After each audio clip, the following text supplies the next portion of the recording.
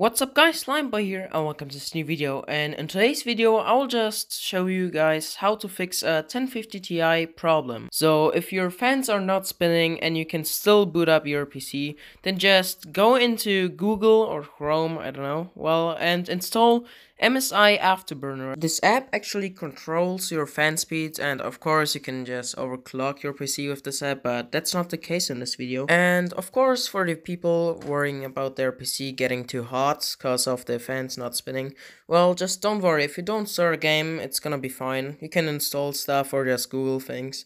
So yeah that's fine. So in the app you can see the fan speed and if it's on zero, which is weird but it's just bugged, um, you can just go up, just click auto and just try to regulate it to a number higher than zero. And the problem is, which is weird, you can't actually go back to zero.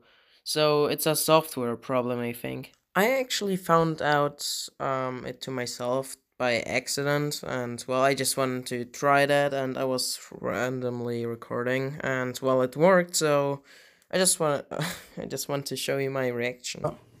Fan speed zero. Um, close this.